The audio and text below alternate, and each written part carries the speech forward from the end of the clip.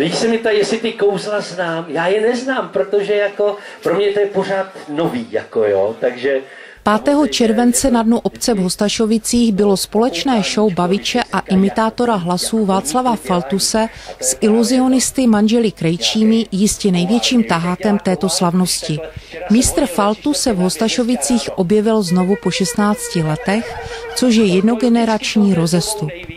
Jen o něco starší kolegové než onen generační rozdíl ho na cestách doprovází v rámci společného programu. To bylo nějak v půlce roku 2012.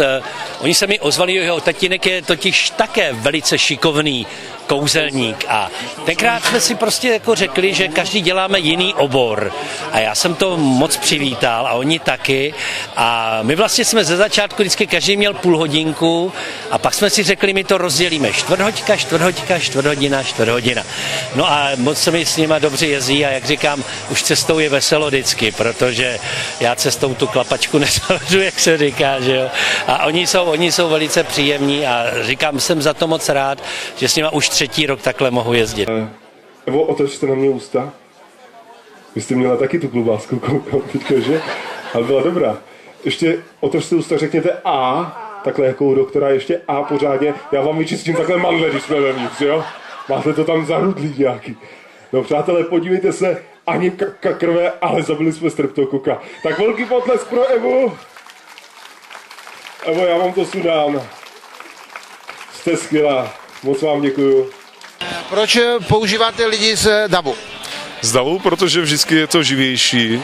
Je to, já myslím, že ta atmosféra je o to působivější tím, že se vezme někdo z davu, který třeba je známý mezi těmi lidmi, co eh, vlastně tady v té lokalitě jsou. A pán, který se vlastně zapojil eh, do představení, aniž bychom to předem plánovali, tak to mělo vlastně nakonec skvělý úspěch. Poprosím, vy jste vyslal manželku, tak pojďte za mnou, to máte za odměnu, ano. Ano, pojďte tady vedle mě. Jak se jmenujete? Petr, Petře, chytněte to uh, levou rukou. Ano, tak jo, takhle. Tak. Petře, držte to opravdu pořádně. Až tam to pořádně bouchnu, tak to spojíme takhle dohromady, jo? Petře, držte to, počítejte do tří se mnou. Raz, dva, tři, můžete chytit.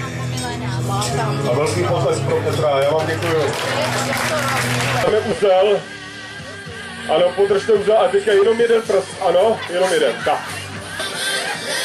Já vás takhle zakryju ještě, zamávejte všem. Zamávejte, ano, rozlučte se s občany, já už vás takhle zakryju. Přátelé, ani nemám uh, chuť se tam dívat, co se tam děje, ale uh, je to dobrý, ano, podle výrazu úplně skvělý, přátelé. No, já to zase schovám. Doufám, že tady nekoukají teďka, co se tam, ano, ano, tady vepředu něco se tam opravdu děje, ale já už musím teďko, že už je to, že je to příjemný, že jo. A už je to skoro i hotový, ano, přátelé. No já jsem si první myslel, že, že zmiznu, tak jsem se loučil s občanama, že někam odletím nebo že někam zmiznu, ale nakonec eh, prostě ta eh, paní mi sundala sako a oblekla si ho ona. Ne, ne, vůbec nevím, jakým způsobem to udělala. Jsi cítil, že ti to sa- sako sundává?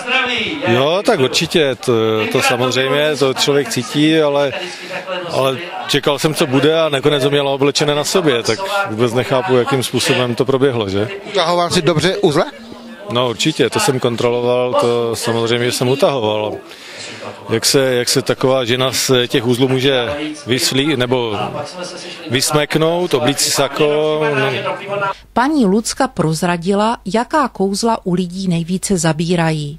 Asi ta metamorfóza. A levitace samozřejmě, to je takový ten vrchol. Je možné vzpomenout nějaké profesní úspěchy?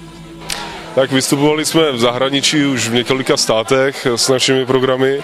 Eh, Tady v Česku mm, těžko říct, co je největší úspěch. Já vždycky si cením, eh, když nás třeba pozve někdo třeba významný na svoje narozeniny a, a třeba to byl Olbram Zoubek, když jsme vystupovali na jejich osmdesátinách, tak to byla pro mě veliká čest. Já jsem to měl jednodušší v tom, že už můj táta je kouzelník a vlastně jsem eh, vlastně v tom vyrůstal od malička, měli jsme spousta rekvizit, takže aniž by mě to třeba učil nebo tak, tak jsem to obkoukával a, a když bylo doma možnost, tak jsem to proskoumal, jak se to dělá. A přicházel jsem si na to i sám, o to to bylo takový možná i lepší, že mě to jako chytlo a začalo bavit.